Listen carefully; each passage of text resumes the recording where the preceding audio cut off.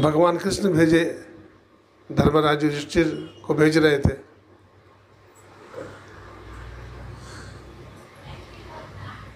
भीम जी जी जाने लगे। वो नहीं माने तो भीम भी गए साथ में।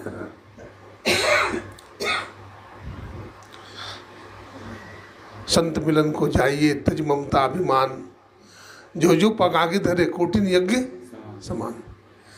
संत का दर्शन के लिए जाइए तो अभिमान को छोड़ करके जाइए। तब क्या होगा?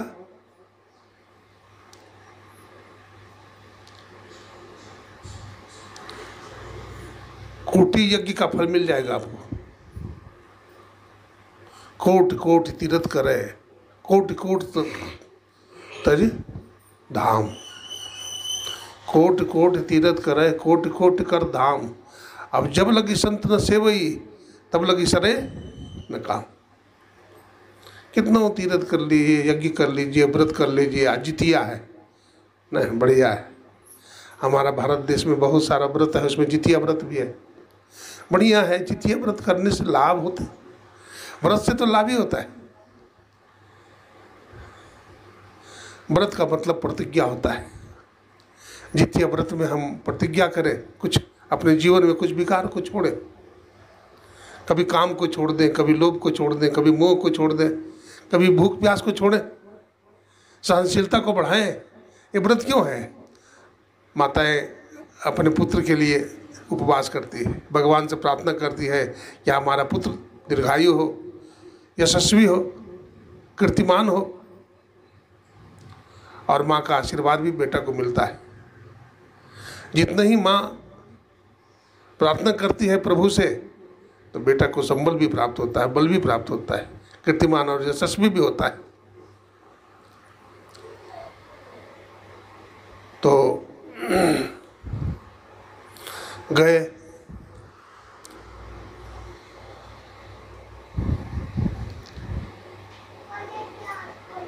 तो कहा कि, प्रभु, हमारे यहाँ यज्ञ है आप हमारे यज्ञ में चले हमारे कुटिया को पवित्र करें। तो सपच भगत ने कहा कि प्रभु कहा महाराज देखिए आप राजा हैं। धर्मराज युधिष्ठिर, आप राजा हैं और राजा का अन्न दूषित होता है। राजा का अन्न पवित्र नहीं होता। कहाँ कहाँ का अन्न होता है?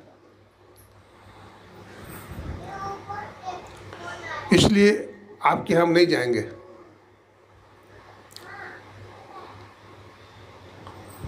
तो भीम को गुस्सा आया। बोला, देखिए, हम राजा हैं और राजा होकर के महात्मा को बुलाने आए हैं, आदर के साथ। और ये मना कर रहा है। उनको अंदर अंदर गुस्सा आ रहा है।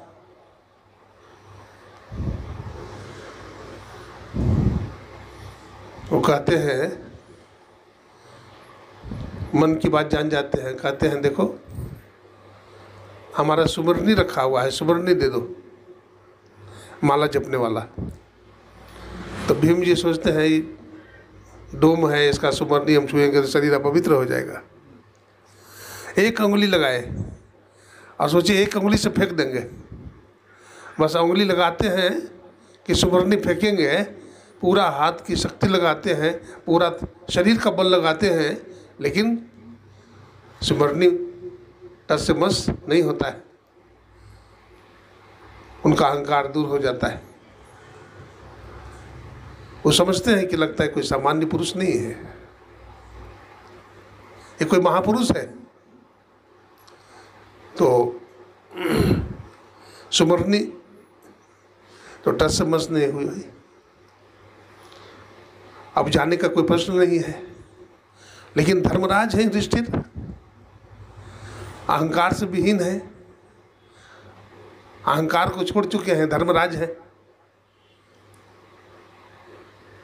कहते हैं, भगवान, यदि आप हमारे कुटिया पर नहीं चलेंगे, ठीक है, हम राजा हैं, हमारा अन्न दूषित भी है। लेकिन आप जैसे संत का चरण हमारे कुटिया पर नहीं पड़ेगा तो हमारा कुटिया कैसे पवित्र होगा और हमारा अन्न को शुद्ध कौन करेगा? देखिए, संत बड़े परमार्थी शीतल जिनके अंग और तप तपन बुझावे और को दे दे अपनी अंग। उसकी निरहंकारता वाली बात सुन करके, अहंकार शून्यता वाली बात सुन करके संत तुरंत गदगद हो गए। बोले, ठीक है धर्मराज युधिष्ठिर मैं तुम्हारे यज्ञ में चलूँगा। तुम्हारे यज्ञ में मैं चलूँगा।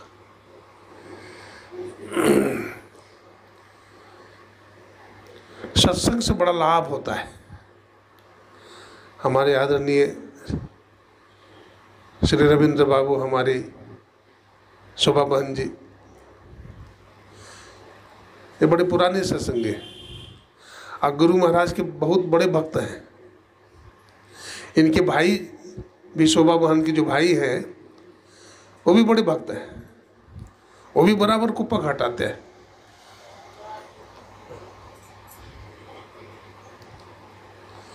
आप सत्संग करेंगे, श्रद्धा से करेंगे, विश्वास से करेंगे, आप साधन भजन करेंगे तो आप में बहुत कुछ होगा। कोई बगीचा है, आम का बगीचा है अब माली रोज उसमें पानी डालता है, खाद डालता है, उसकी देख रेख करता है। तो क्या? बगीचा में आम नहीं फलेगा? अवश्य फलेगा। ठीक है, दो चार पेड़ में आम ना आवे, अलग बात है अब बात है, लेकिन आम फलेगा। आप भजन करेंगे, सत्संग करेंगे सदाचारी जीवन बिताएँगे, आप में बहुत कुछ होगा। आप में बहुत सारी रिद्धियाँ, सिद्धियाँ होगी और आप में बहुत आत्मबल होगा। इसलिए साधक को कभी निराश नहीं होना चाहिए। गुरु मंत्र जप, गुरु ध्यान कर, गुरु सेव कर, अति प्रीत कर। अब गुरु की आज्ञा मान प्यारे कर सदा गुरु की कहे। गुरु मंत्र जपिए।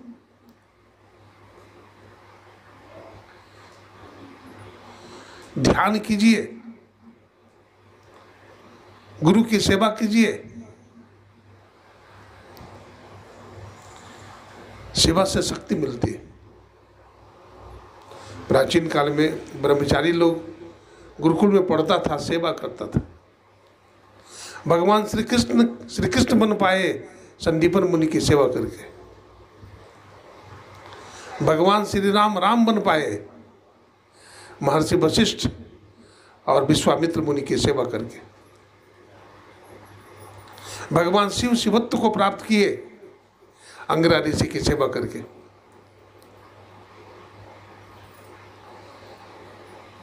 तो गुरु के बिना कोई गति नहीं होती। गुरु बिन माला फेरता, गुरु बिन करता दान, गुरु बिन सब बिरथा गया, बुझो वेद पुराण। बिन गुरु जब तब दान व्यर्थ व्रत।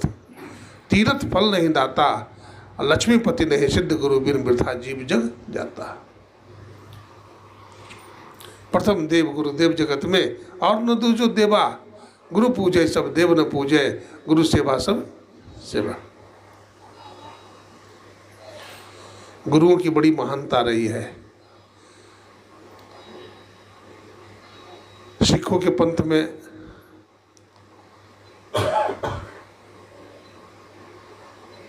दस गुरु हुए। पांचवा गुरु हुए बाबा अर्जुन देव जी महाराज। कौन हुए? पहला गुरु हुए तो संत गुरु नानक साहब। और पांचवा गुरु हुए बाबा अर्जुन देव जी महाराज। वो लाहौर में सत्संग करते थे। अब पाकिस्तान में चला गया। है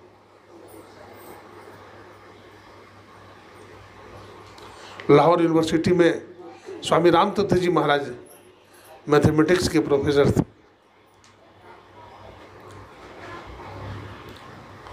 बतलाते हैं,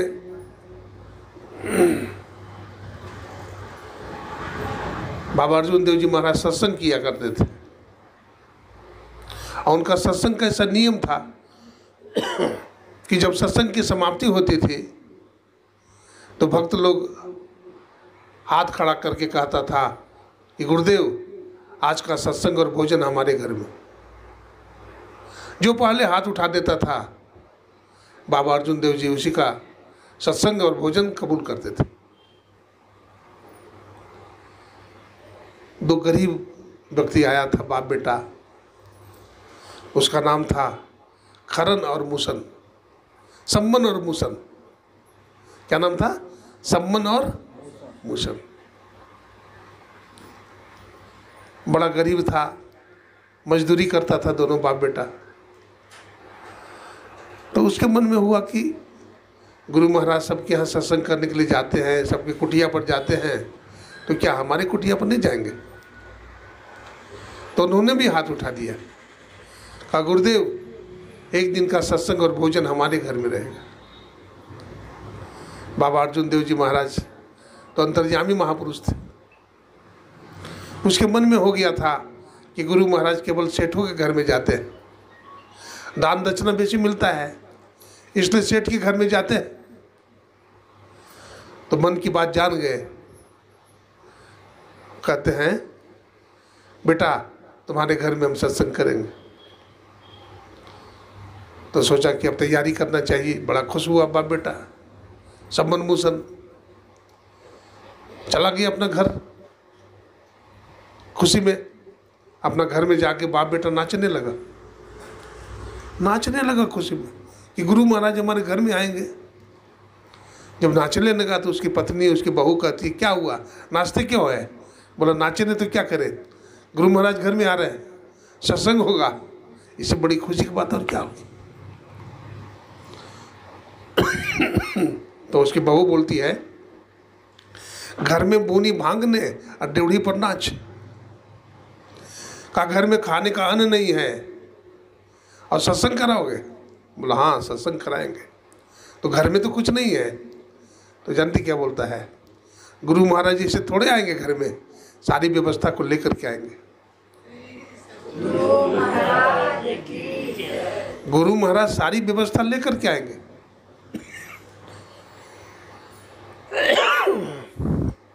श्रद्धा है, बलवान। तो पल में खड़ा है भगवान। अब, बाबा अर्जुन देव जी का जो भंडारी था, भोजन बनाता था, कल सत्संग है तो आज शाम में पहुँच जाता है घर। और कहा कि महाराज, हम बाबा अर्जुन देव जी महाराज के भंडारी है रसोईया। इसलिए हमको सामान सब दे दीजिए। तब न कल से हम भोजन बनाएँगे। बाप बेटा विचार करने लगा। उन्होंने विचार करके कहा कि देखो, कल दे देंगे सामान, सुबह सुबह। सुबह सुबह मैं सामान दे दूँगा आपको। बनाइएगा तो सुबह में ही, बोला हाँ सुबह में बनाएँगे। अब बाप बेटा विचार करने लगा कि चलो, बगल वाला जो दुकानदार है, उससे कुछ उधार ले लेंगे। बाद में पैसा देंगे। उसके पास गया, बोला, देखो, कुछ सामान उधार दे दो, हमारे घर में गुरु महाराज आ रहे हैं। तो बोला कि नहीं दूँगा। बोला, क्यों? बोला, तुम्हारा कुछ ठिकाना नहीं, गरीब आदमी हो, पैसा दोगे कि नहीं दोगे? मैं नहीं दूँगा। जब इनकार कर दिया तो बाप बेटा ने सोचा, क्या करें?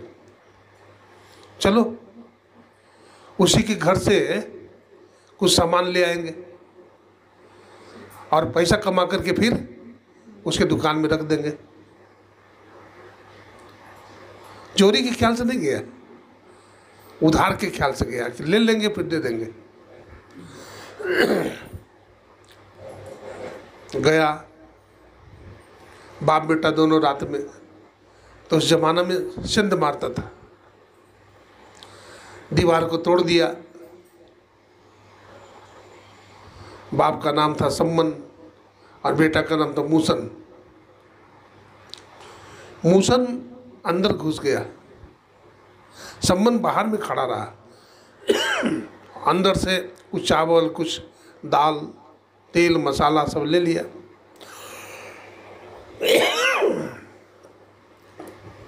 ले लिया।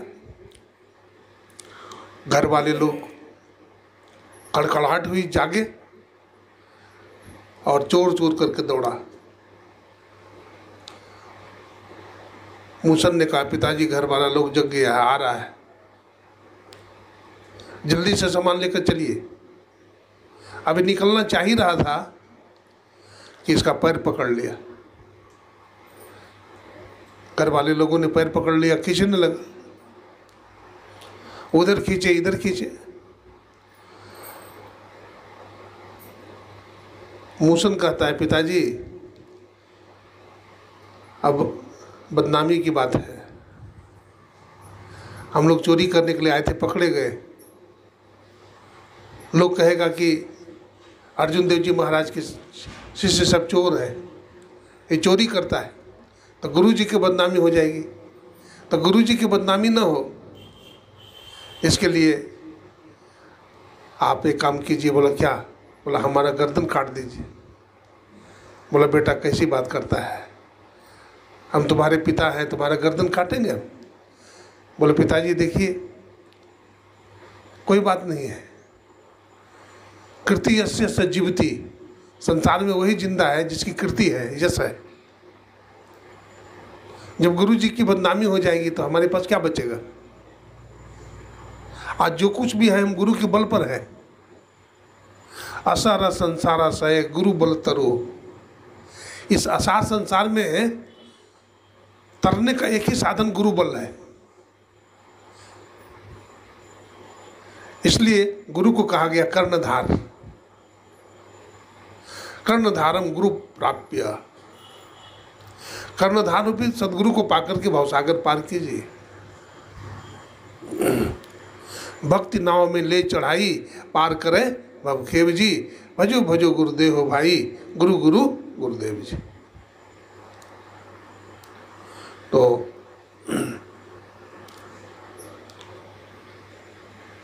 बाप की सम, बात समझ में आ गई। उन्होंने तलवार से बेटा का गर्दन काट दिया। अब सिर काट करके लेके चला गया, अब धड़ पड़ा रह गया।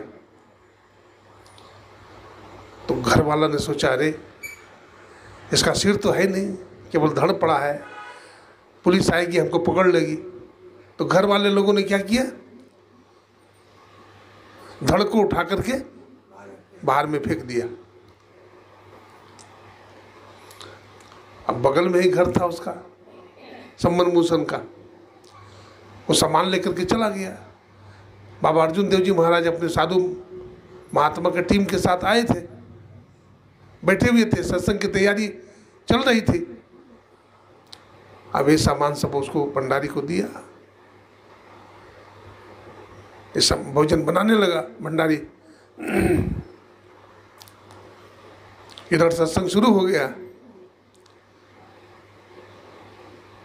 सत्संग की जब समाप्ति हुई तो बाबा अर्जुन देव जी महाराज ने सम्मन से कहा, सम्मन, तुम्हारा बेटा मूसन दिखाई नहीं पड़ता। उसको बुलाओ। कहा, गुरुदेव, वो अब नहीं आ सकता है। बोला, क्यों?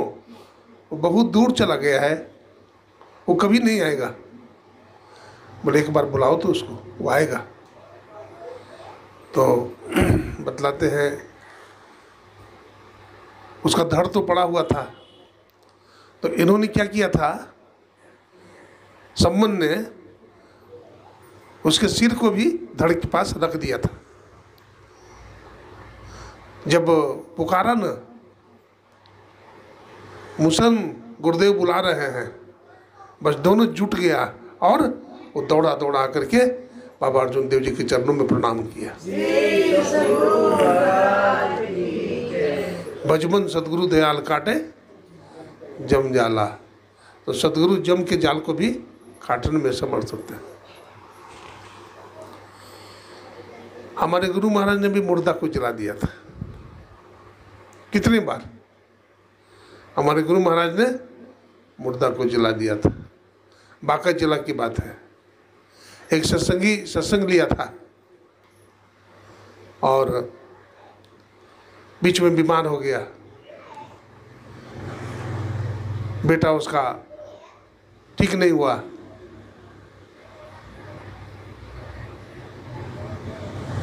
कुछ लोगों ने कहा कि सत्संग क्या कराओगे? सत्संग खुशहाली में होती।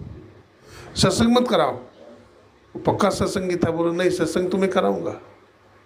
बहुत भाग्य से सत्संग होता है। बड़े भाग पाइए सत्संग का। बड़े भाग्य से सत्संग मिलता है। और सत्संग में छोड़ूँगा नहीं। चाहे जो हो जाए, जीव संसार में आता है, जाता है। हमारा बेटा को बचना होगा तो बचेगा, और नहीं बचना होगा, भगवान को ले जाना होगा तो हम क्या करेंगे? लेकिन सत्संग हम नहीं छोड़ेंगे।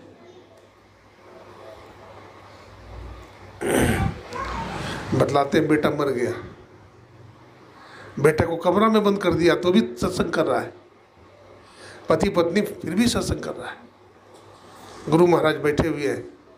बड़ा उदास है पति पत्नी। गुरु महाराज के बगल में बैठा है। बड़ा उदास है। गुरु महाराज पूछते हैं कि तुम लोग बहुत उदास नज़र आते हो, क्या बात है? उस गाँव के चौधरी जी थे, उन्होंने कहा, हुजूर, इसके घर में एक ही दिया था, सो बुझ गया। आप जला सकते हैं? गुरु महाराज ने कहा, खोल करके कहो। क्या बात है? बोला, इसको एक ही बेटा था, सो मर गया, आप ज़िंदा कर सकते हैं। गुरु महाराज मौज में आ गए। बोले, क्या कहा? इसका बेटा मर गया है। बोला हाँ इसका बेटा मर गया है। गुरु महाराज के पास एक फूल रखा हुआ था, फूल हाथ में उठाते हैं। बोले, कहाँ मरा है? चलो तो। बोला, इस कमरा में है। उस कमरा में जाते हैं। चादर से ढक दिया था, चादर हटाया। गुरु महाराज उसके छाती पर गुलाब का फूल रख देते हैं। कहते, ए फलाना, अभी तुमको दुनिया में बहुत काम करना है। उठ कर बैठो। वो लड़का उठ करके बैठ गया। तो जो न करे लकीर, सो करे फकीर। संतों के लिए ये कोई बड़ी बात ही नहीं है। शम्स तबरेज ने मुर्दा को जला दिया था। गोस्वामी तुलसीदास जी महाराज ने भी मुर्दा को जलाया। तो जो अंतर साधन करते हैं, भजन करते हैं, जो नादानुसंधान की क्रिया करते हैं और प्रकाश की का साधन करते हैं दृष्टियोग की क्रिया करते हैं लेकिन शरीर में दो ही चीज़ है, एक प्रकाश और दूसरा शब्द। कोई बीमार हो जाता है तो डॉक्टर के पास ले जाता है। तो डॉक्टर सबसे पहले क्या करेगा? वो पुतली उलट के देखता, आँख की पुतली। रोशनी है कि नहीं? फिर आला होता है उसके पास, वो छाती पर लगा करके आवाज़ को सुनता है। इसके छाती में धड़कन है कि नहीं? आवाज़ है कि नहीं? अगर धड़कन भी नहीं है तो डॉक्टर बोल देता है, मर गया। और ये प्रकाश शब्द को संत लोग पकड़ लेते हैं। साधो शब्द साधना कीजिए, है ना? यही शब्द से प्रकट भय सब सोही शब्द गह लीजिए। और जगमग जगमग रूप ब्रह्मंडा संत महात्मा अंदर की बिंदु को पकड़ते हैं, गुरुदेव पदावली में लिखते हैं, बिंदु चंद तब सूर्य प्रकाशे, शब्द लहर लहरायु। यहाँ पर क्रमता है। आप अगर मिलाएँगे तो संतवाणी से पूरा मिलते सबसे पहले मानस जब मानस ध्यान करते हैं उसके बाद बिंदु का दर्शन होता है। फिर कहते बिंदु चंद, फिर चंद्रमा का दर्शन होता है। तब सूर्य प्रकाश है, तब त्रिकुटी माल में सूर्य का दर्शन होता है। और फिर शब्द सुनाई पड़ता है, बिंदु में तहनाद बोले। रैन दिए बस सुहावनम तो फिर शब्द होता है। और अनेक प्रकार का शब्द होता है, जिसको अनहद शब्द कहते हैं। जिस शब्द की हद नहीं है। और फिर शब्द बदलते बदलते एक शब्द रह जाता है, वही सार शब्द है। वही सार शब्द निशब्द में ले जा करके जीवात्मा को मिला देता है। और जीव आवागमन के चक्र से सदा के लिए छूट जाता है। तब ये योग साधन है। इसको आप चमत्कार कहें या इसको कुछ भी कहें आप। ये वैज्ञानिक पद्धति है। इस वैज्ञानिक पद्धति के द्वारा, अध्यात्म साधना के द्वारा जीव अमृत को प्राप्त करता है।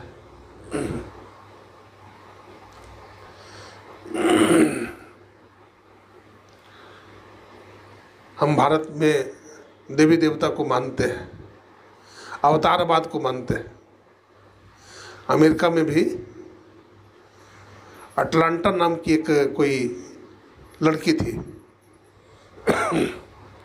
वो जुपिटर देवता की पूजा करते थे। किसकी? जुपिटर नाम के एक देवता है, उनकी पूजा करते थे। तो बहुत दिनों तक पूजा की, आराधना की तो जुपिटर देवता प्रसन्न हो गए। बोला, बेटी, मांगो, क्या मांगती हो? तो अटलांटा मांगती है कि, हे भगवान, यदि हमसे आप प्रसन्न हैं तो हम दौड़ में हमें कोई हरा ना सके। जुपिटर देवता ने आशीर्वाद दिया, ठीक है, जाओ। दौड़ में कोई तुम्हें हरा नहीं सकेगा। उसे अहंकार हो गया कि दौड़ में मुझे कोई हरा नहीं सकता। जब प्रतियोगिता होती थी तो उसमें सबसे आगे निकल जाती थी। पहला पुरस्कार लाती थी। तो कोई युवक था, वो भी सोचा कि दौड़ में हम भी भाग लेंगे। लेकिन दौड़ में हार गया। तो सोचा कि दौड़ में जीत क्यों जाती? तो पता चला, जुपिटर नाम नामक देवता की पूजा करती है। और जुपिटर देवता को प्रसन्न कर ली है तो हम भी उनकी पूजा करेंगे। तो जुपिटर नामक देवता की पूजा वो लड़का भी करता है। वो देवता प्रसन्न हो जाते हैं। कहते, मांगो, क्या मांगते हो? तो कहता है कि, अटलांटा को हम दौड़ में हरा दें। तो जुपिटर नामक देवता ने कहा कि नहीं ऐसा नहीं होगा। क्योंकि हम जिसको वरदान दिए हैं वो वरदान इसी को दिए हैं। इसलिए वो वरदान तुमको नहीं दे सकते। तो कहा कैसे हराएँगे इसको? तो उन्होंने कहा एक युक्ति बत, बताता हूँ। देखो अटलांटा हार जाएगी। बोला कैसे? बोला देखो दौड़ में जब वो आगे बढ़ेगी, है ना, तुम पूरा ज़ोर लगाना, पूरी शक्ति लगाना। जब पूरी शक्ति लगा दोगे तो तुम उससे आगे निकल जाओगे। उसको बता दिया था कि तुम हीरा मोती अपने पास में रखना। सोने का सिक्का रखना। बस अपने पॉकेट में सोने का सिक्का उभर लिया और वो गिराते जाता था। कौन? लड़का। तो सोने का सिक्का दे करके उठाने लगती थी। वो बीच बीच में गिरा दे उठाने लगती थी। तो दौड़ में तो आगे निकल रही थी वो, लेकिन बार बार झुकती थी, उठाती थी। तो इसके दौड़ने में बाधा होने लगी। अब धीरे धीरे स्वर्ण का सिक्का उठाने लगी। जेब भी भारी हो गया। दौड़ भी, रेस भी कम हो गया। अब वो लड़का आगे निकल गया। फिर जोड़ लगाती है, फिर आगे बढ़ जाती है, फिर सोने का सिक्का गिरा देता था। इस तरह से करते करते क्या हुआ लड़का? दौड़ में आगे निकल गया और प्रथम पुरस्कार वो लड़का ने प्राप्त कर लिया। कहने का मतलब क्या है? अपने लक्ष्य पर लगे रहो। स्वामी विवेकानंद जी महाराज ने कहा arise awake, and stop not till the goal is reached उठो, जागो, और लक्ष्य तक पहुँचने के पहले मत रुको। जो आपके जीवन का लक्ष्य है, वहाँ तक पहुँचो पहले। उसके लिए पुरुषार्थ करो, उसके लिए मेहनत करो।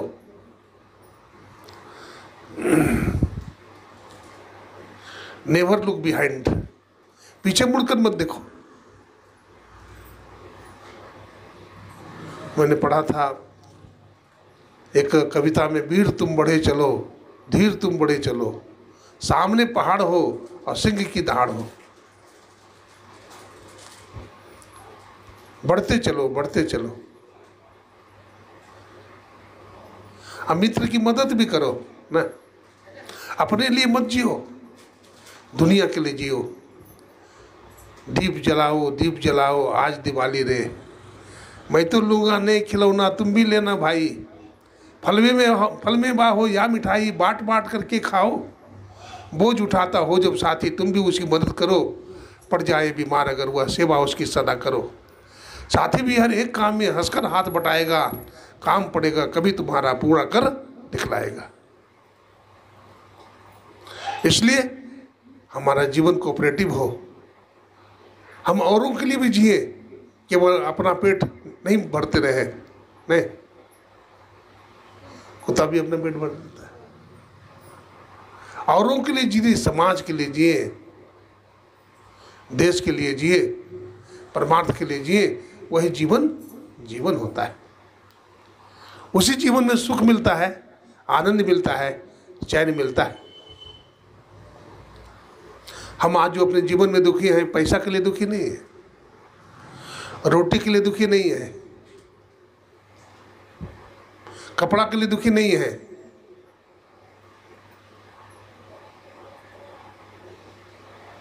हम दुखी हैं किस लिए? कि हमारा भाई को हमसे ज़्यादा न मिल जाए। हमारा एक मंजिल मकान है तो हमारा भाई झोपड़ी में रहे। ना। अगर हमारा भाई का दो मंजिल मकान बन गया तो हम दुखी हो जाते हैं।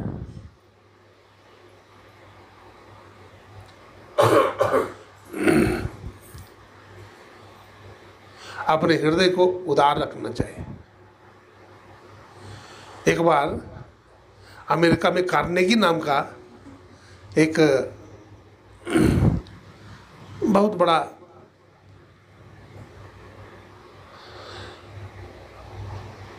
ऑफिसर था।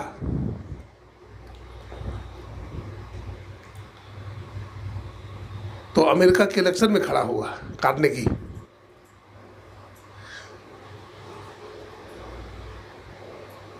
वो लिंकन के समय में हुआ, Abraham Lincoln. Abraham Lincoln America का राष्ट्रपति था। तो उसी के टाइम में कार्नेगी हुआ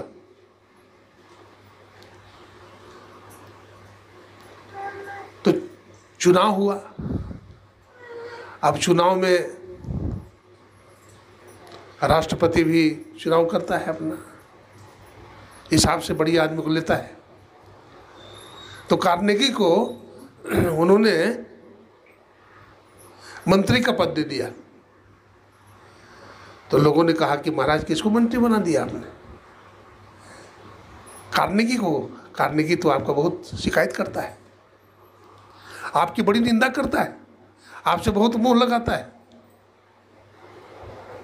जब उसको सब लोगों ने एक बात कहा तो उससे कहा, देखो, मुझे लिंकन भक्त नहीं चाहिए, मुझे अमेरिका भक्त चाहिए।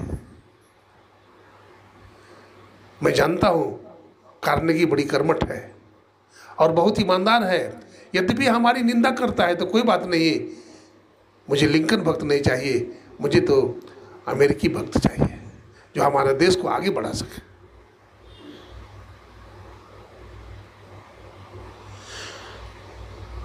ये संत मत का बगीचा है, और संत मत के बगीचा में कोई घड़ियाल, झाड़ी में कोई बाघ छिपा न रह जाए, उसको बाहर निकालो,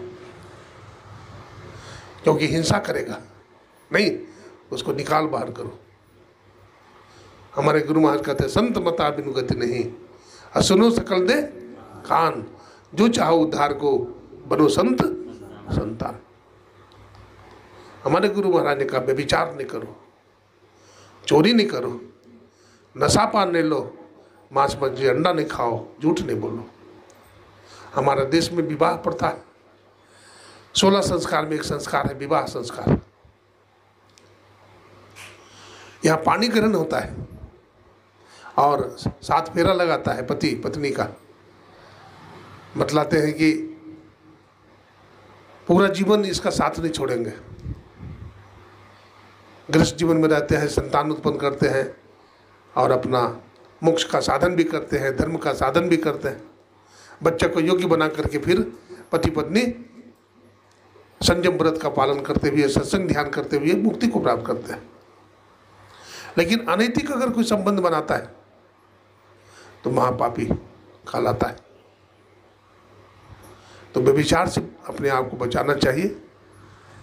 बात बात में झूठ भी नहीं बोलना चाहिए। नशा पान नहीं लेना चाहिए। सत्संगी लोग भी लटका लेते हैं खैनी। हाँ वो भी लटकाते हैं। श्री सदगुरु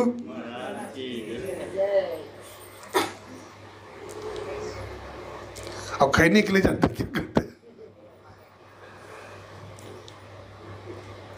अस्सी चुटकी और नब्बे ताल तब देखो खैनी का हाल।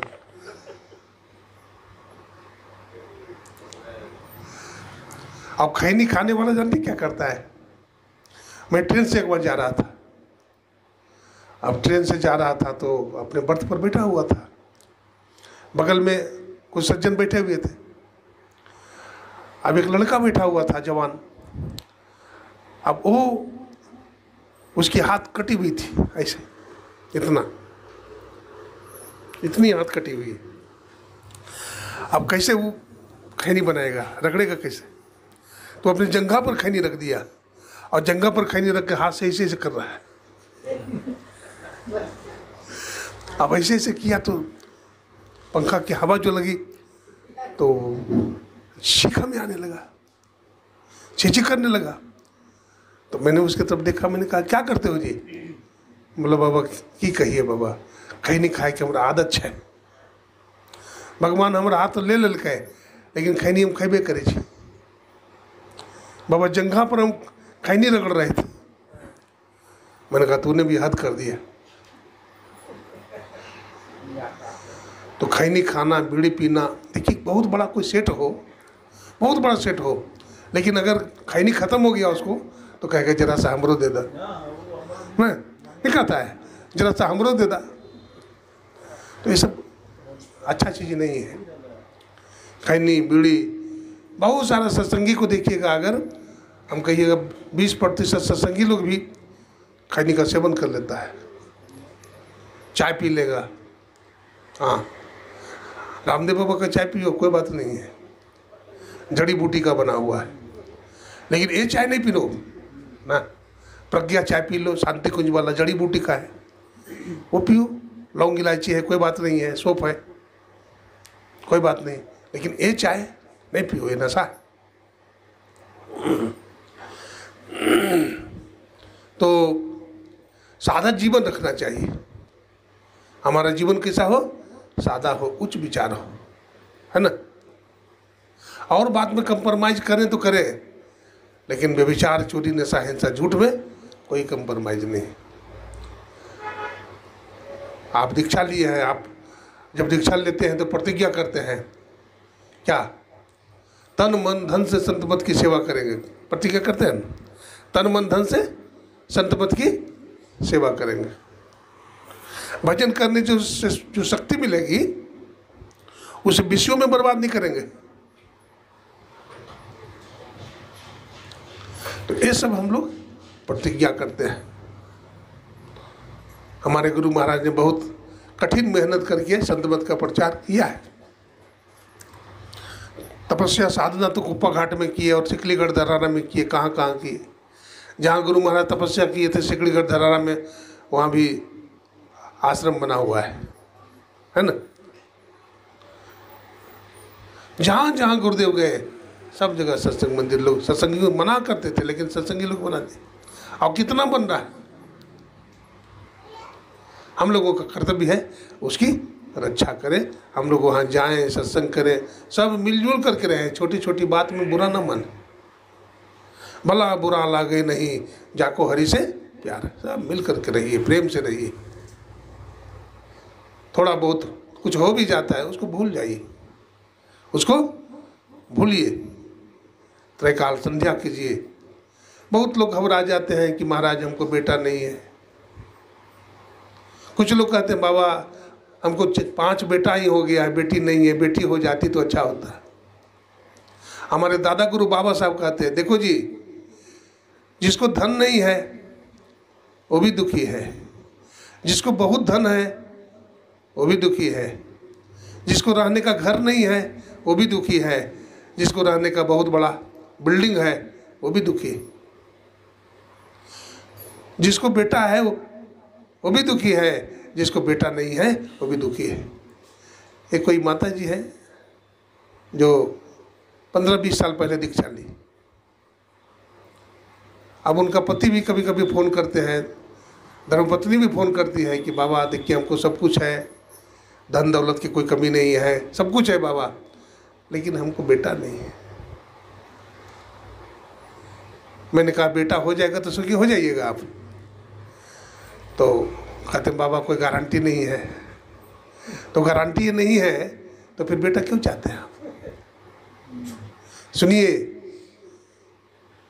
मैं साफ़ बात कहूँ? बोला हाँ बाबा कही मैंने कहा, बेटा, बेटी सुख नहीं देती है।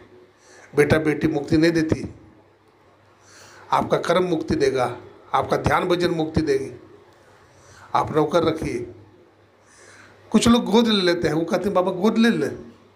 कल गोद ले लीजिएगा ना, कोई चुटकट्टा कहा देगा उसको। ये तोर माए बाप नहीं छो, ये गोद ले छो। बदल जाएगा वो। मालूम तो हो ही जाएगा, सच्चाई छिपेगी, मालूम हो जाएगा। इसलिए गोद भी ना लो तुम्हारी सेवा नहीं करेगा, कभी नहीं करेगा। अच्छा है। भक्ति करो। क्या करो? पति पत्नी मिलकर के भजन करो। अरे, उस जन्म में कुछ कमी रहा तुम्हें? संतान नहीं हुआ? कोई बात नहीं। इस जन्म में और कसर को पूरा कर लो, खूब सत्संग करो, खूब भजन करो, एक नौकर रख लो, वो तुम्हारी सेवा करेगा। बोला हाँ बाबा, ये बात सही है। अब उसके जीवन में कोई खटक नहीं है। कोई दुख नहीं। ठीक है, संतोष कर लिया। इस जन्म में हमारे भाग्य में कोई बेटा बेटी नहीं है तो कोई बात नहीं, इस जन्म में हम भजन करेंगे, सत्संग करेंगे, सास ससुर की सेवा करेंगे, पति की सेवा करेंगे। देखिए, इसलिए छोटी छोटी बात में नहीं घबराना चाहिए। आज बहुत लोग घबराते हैं कि बहुत तरह की बीमारी हमारे घर में है। बहुत रोग हो गया कोई नहीं घबराइए नहीं, भोग है। भोगो रोगो भयम। इस जन्म में भक्ति कीजिए, ध्यान में आगे निकलिए, अंधकार को फाड़िए। अंधकार को फाड़िए आप। इसके लिए अपील करके ध्यान भजन कीजिए। ठाठ ठठ सत्संग करो। ठाठ ठठ के साथ क्या कीजिए? सत्संग कीजिए और वैराग्य रखिए। सब कुछ छूटने वाला है। इस शरीर छूटेगा, मकान छूटेगा, दुकान छूटेगा, ये परिवार छूटेगा, कुछ रहेगा। कहमा से जीवाइल कहमा समाइल हो निर्गुण से हंसाइल सरगुण समाइल तो जब सब कुछ समाप्त ही हो जाएगा, है ना? तो फिर चिंता किस बात है इसलिए कहते हैं जगन्नाश का विश्वास हो फिर आस क्या करे, ना? गुरु हरिचरण में प्रीत हो, जो काल क्या करे, और कछुए की दृष्टि दृष्टि हो, जंजाल क्या करे? तो कछुआ की तरह दृष्टि बनाइए, भजन कीजिए, सत्संग कीजिए तो क्या होगा? जीवन का कल्याण हो जाएगा। तो आज हम सत्संग करने के लिए आदरणीय श्री रविंद्र बाबू और श्रीमती शोभा बहन जी के घर में आए हैं सत्संग करने के लिए। हम गुरु महाराज से प्रार्थना करते हैं कि ये दोनों स्वस्थ रहें और इनके बेटा भी हैं, बहू भी हैं। वो भी इन्हीं के रास्ते पर चलते हैं, वो भी आज्ञाकारी हैं। तो उन लोगों के लिए भी गुरु महाराज से मंगल कामना करते हैं। जितने भी सत्संगी भाई माता बहनें आए हैं सबके लिए गुरु महाराज से मंगल कामना करते हैं। सर्वे भवंतु सुखिन, सर्वे संतु निरामया, सर्वे भद्राणी पश्यंतु माँ कश्चित दुर्भाग भवित। ओम शांति शांति शांति। बोलिए प्रेम से श्री सदगुरु महाराज की।